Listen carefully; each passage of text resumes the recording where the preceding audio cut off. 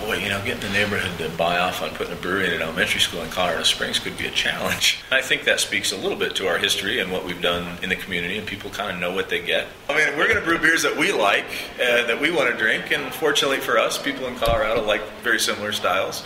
We don't have to dumb anything down. I wanted to gain efficiency in labor and energy, and I wanted to gain efficiencies with the raw materials.